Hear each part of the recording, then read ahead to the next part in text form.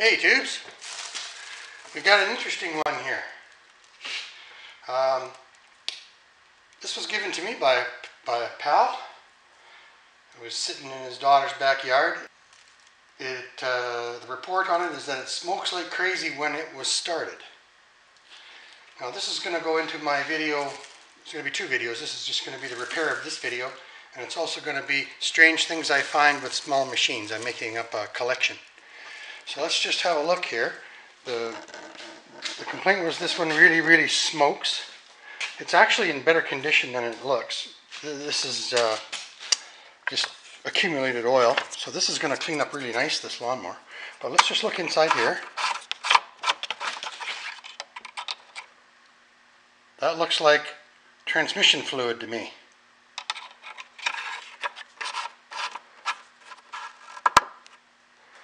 It does start. So, and it, the blade goes around and around and all that stuff. I did do a small wheel alignment just before I turned on the camera. This tire was up about a half an inch compared to this one. So let's uh, just drain the oil and see what we've got. And uh, we'll put you over here and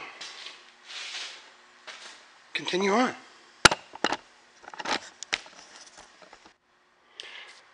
So there we go, I've got my uh, little stick supporting the lawnmower. I have to be careful because it's kind of precarious, but it really saves my back. Okay tubes, I've just removed the bolt plug from underneath the lawnmower that holds the oil in. Call it a bowl plug, you can call it an engine plug or whatever. So right underneath there is where the oil is going to come out. I'm going to use this little little pan or dish Normally I use a big oil change pan, but I'm not taking the blade off just yet until I get this engine running well. So I'll just uh, put you over here. Well, I wonder if I can... Eh. Do I have a problem making decisions? Well, yes and no. So anyway, I'm just going to tilt this lawnmower over and drain the oil into that cup and we're going to have a look at the oil.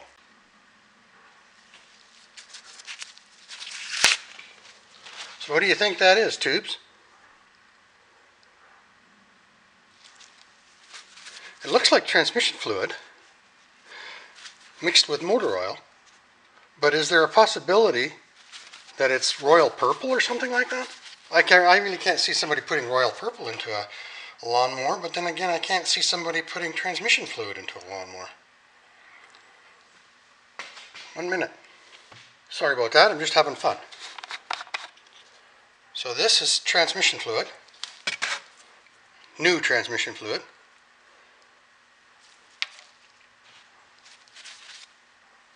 Looks kind of the same.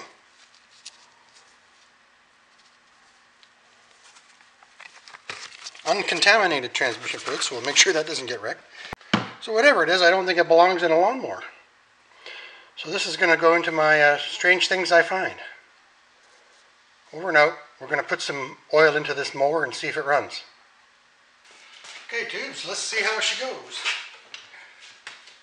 I just put some used oil in there. Because every $3 you spend is $3 you spend. And if it uh, runs good, I'll do an oil change on it.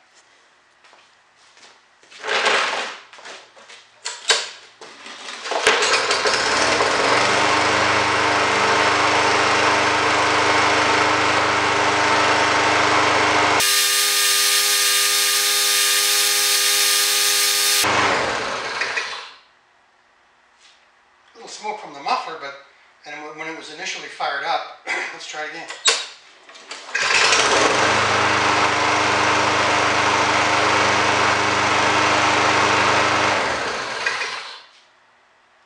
I think it'll pass.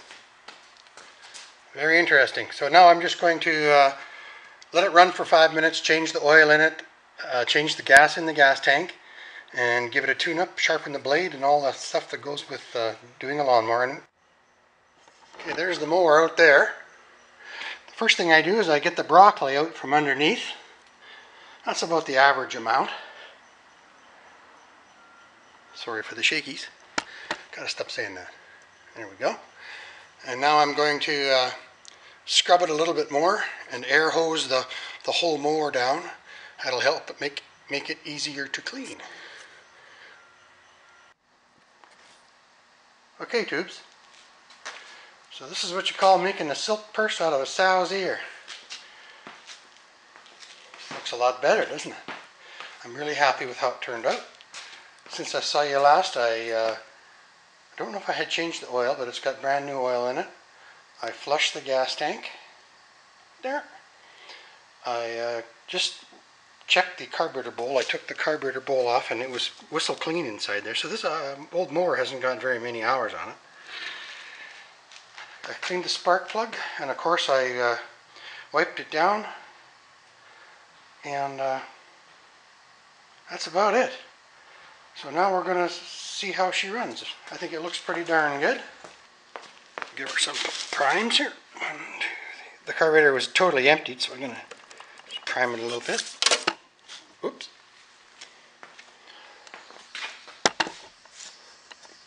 Let's see if she goes.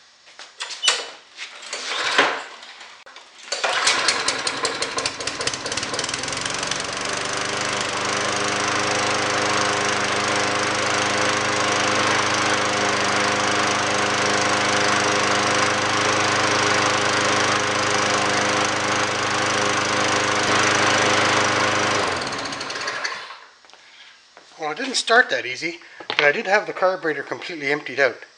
So now I am just going to uh, check it in a few hours and make sure it starts again. You saw it first here on VTH V1 TV.